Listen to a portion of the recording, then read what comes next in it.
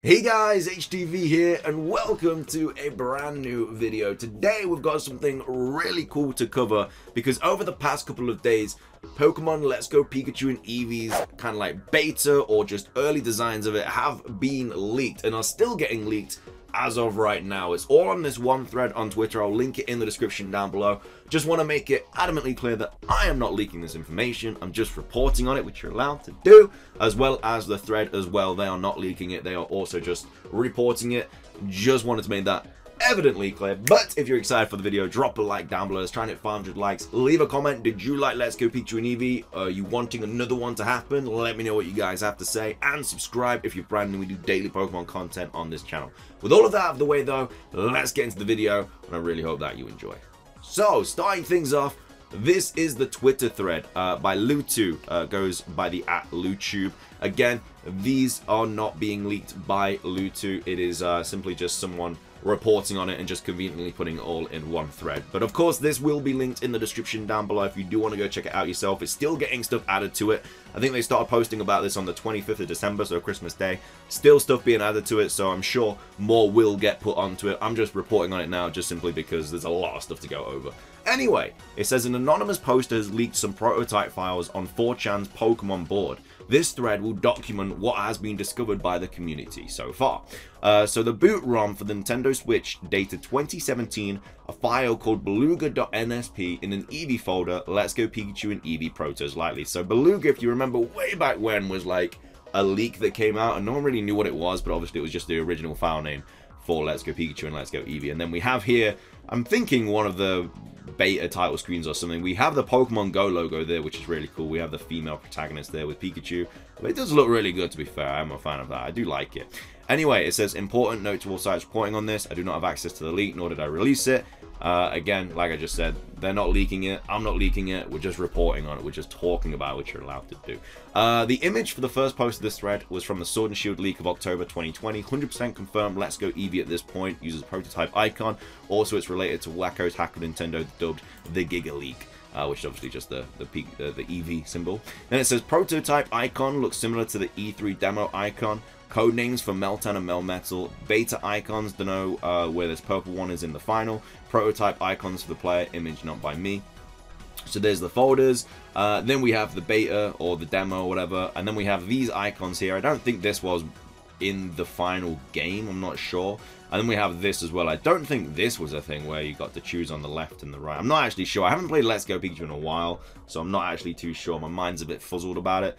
But uh, yeah, we have that bit there. Then it says low quality icon leftovers from auras, including a big hand. Go Park files are present. The aforementioned uh, icons, still only the whole Kanto Dex 153. It's obviously 153 because Meltan and Melmetal were in it. Um, which is why it's got an extra two um, numbers in it. But obviously these are the auras uh, symbols here. You can see that, and then we have this, which I really do like. I love these kind of like uh, character pictures. Really, really cool. Anyway, it says the beta tutorial streams for your first catch. There are way more than these, but they're obviously different from the final. Lots and lots of changes to the music. They're uh, being uploaded now, but I cannot do that for obvious reasons. Looking like made in it was Microsoft Paint or something. Uh, these are obviously very early designs of catching a Pokemon. Uh, this is new Gen 9 Pokemon, by the way. He's going to be the starter. Watch this space. He's going to be star in Gen 9. Uh, glad my Switch don't look like that, though. Bloody hell, those buttons are all over the place. There he is again, though, having a great time. I'll tell you what, Gen 9 Pokemon right there. They're doing it on the sly. Then we have beta credit assets, all of which are very early. They're so cute. Eevee is just a recolored Pikachu though, and the female protagonist doesn't have an early icon. So we have this, which I don't know what this is. Looking like grass or something. Uh, but then we have this, which I really, really love. I really like this Pikachu picture. I'm a big fan of this. And then obviously we have Eevee, which obviously was just another Pikachu uh, early on. Uh, but then we have this as well. I really, use, I, I really wish they used this as a, like a menu icon or something, because they're so like I don't know. I just love the art style. I think they're really, really cool. But yeah, they were originally supposed to be used as like beta credits or something. Uh, anyway, it then goes on to say beta title screen for Let's Go Eevee lol. A bunch of non-Kanto Pokemon have no data and appear as Marowak. Mega Rayquaza is in the game with HD and remade textures as a placeholder Pokemon, renders of everything on the beta title screen that we've already seen. So this was the original title screen for Let's Go Eevee.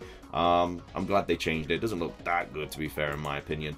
Uh, and then obviously we have a level 1 Mega Blastoise, but then obviously we have Chikorita up here being a level 1, which is just for whatever reason a Marowak. I don't know why it got turned into a Marowak. I, I don't know why that was the Pokemon, but it is what it is. And then obviously this is the Mega Rayquaza kind of assets, whatever. And then we have the female protagonist here, which, uh, again, really, really cool artwork there. Uh, and then we have date of the build is May 12, 2018. Predates released by six months. People are discovering music, but very, very slowly since there's a lot of it. Here's an extremely early rendition of the champion theme. No idea if the final version is in the build. Not sure if I'm allowed to play this or not uh, like I say, it'll just be linked in the description on this thread. So if you want to go listen to it, like I say, you should check this thread out anyway because I'm sure more stuff will get added to it over the following days. Like they're still discovering stuff now. Um, the only reason I'm making this video now is because there's a lot of information to cover already. Uh, but yeah, then we got another one as well. It says a seemingly unused theme is in the game. Is obviously very familiar, but we uh, don't know where it's used in the final build of the game or was likely scrapped quite early though. Uh, and then we have some really cool stuff here. So it says the introduction is completely different towards the end. The player wakes up with a Pikachu doll in bed as opposed to the final game. Fourth picture is the final for a frame of reference, no CGI intro. So we have this is what we got um, in the end, which is obviously like you're just looking at the TV screen and then you kind of like look behind you and stuff. So that's what we got. But originally, uh, we were supposed to get this, uh, which is uh, really, really cool. So obviously we have you waking up with a Pikachu, uh, Pikachu doll there, uh, which is... I, I kind of would have preferred this intro. I don't know, just waking up in the morning with a Pikachu doll. I don't know, I just... I think it's better, and then obviously getting up out of bed with the Pikachu doll. I personally would have preferred that, um, really. I love that Nidorino picture in the top, though, with uh, Gengar. That's a, that's a throwback. And then obviously the map there and stuff. I don't know what that map, that's a map of. It's not Kanto, so I don't know what that is. Um, is it Kanto? Maybe it is Kanto. Maybe it is. I don't know. I don't, I don't know Kanto. Uh, but yeah, this is obviously what we got in the end, unfortunately. Anyway, it says water doesn't animate at all. Eevee is missing from the cutscene and the save screen. Prototype map likely has differences from the final. No transition into wild battles, just a glorified fade. Um, so yeah, no water animation there. The water is moving gently, it's not. And then we have invisible Eevee there, which is interesting. Uh, no shadow of it or anything like that. Uh, and then Habitat Unknown, and then obviously we have no Eevee there or Pikachu or anything like that. And it says NPC placements are outright gone or vastly different. Also, many NPCs have different text that isn't in the final. Pokemon appear to be less frequent on screen at once. Wrong music here plays Viridian Forest theme. Items appear to be non-interactable. Um, so yeah, no NPC there. Um, and then yeah, some more stuff here. Uh, Sis says Pokemon will like if you treat them nicely. Again, just more pictures, can't interact with the items, nothing like that.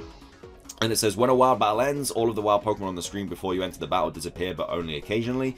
Experience uh, multipliers are broken. End of battle party screen is different. Catch combos do exist, but they aren't shown in battle and only afterwards.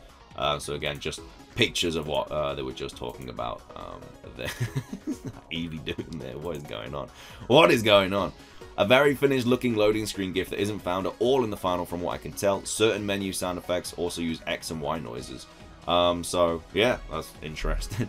Uh, and then we have HP depletes in chunks as opposed to a smooth decline. Mentions the XP when you gain experience in battle. Learns double kick at 7 uh, versus 10 in the final. Stands to reason that many of the Pokemon have different level up sets. Viridian Forest camera is broken.